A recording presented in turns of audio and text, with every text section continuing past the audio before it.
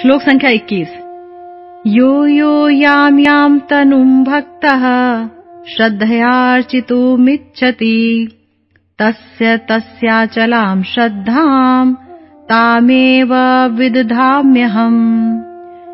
यो यो याम याम तनुम भक्तः श्रद्धयार्चितुमिच्छति तस्य तस्याचलां श्रद्धाम तामेव विद्धाम्यहम।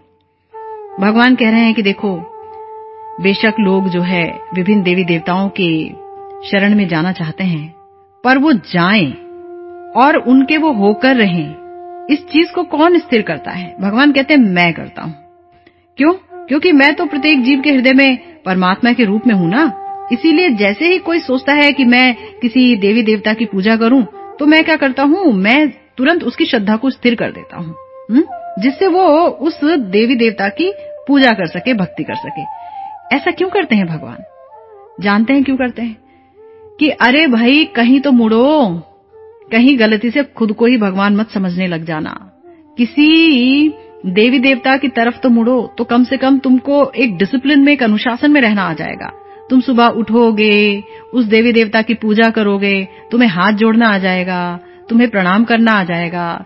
तुम पूजा भक्ति करने की जितनी भी क्रियाएँ हैं, उसमें अपने आप को संलग्न कर सकोगे। ये सब तुमको आ जाएगा। हुँ?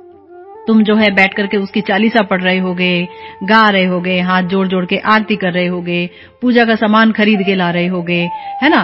तो मतलब अपने दिन का या अपने जीवन का कुछ भाग तुम इस प्रकार के कार्यों में लगा रहे होगे। इससे क्या होगा? इससे तुम्हारी कुछ सुकृति बढ़ जाएगी। यानी जब कोई इंसान अच्छा कर्म कर रहा है, बेशक अपनी भौतिक इच्छाओं को पूरा करने के लिए ही कर रहा है लेकिन फिर भी वो उस समय एक विशेष सतोगुण में तो स्थित होता ही है है ना? क्योंकि वो देवी देवताओं की पूजा कर रहा है। तो देवी देवताओं की पूजा करने वाला व्यक्ति कम से कम उस समय जब वो पूजा कर रहा है, शांत होता है, अपने चित्त को उनके चरणों में रखने की कोशिश करता है तो एक प्रकार से सतो गुण के संपर्क में आ जाता है। हुँ? तो उसके अंदर जो है सात्विक प्रवृत्ति चाहे थोड़ी ही देर के लिए आ जाती है और इस तरह से उसकी कुछ सुकृति एकत्र हो जाती है।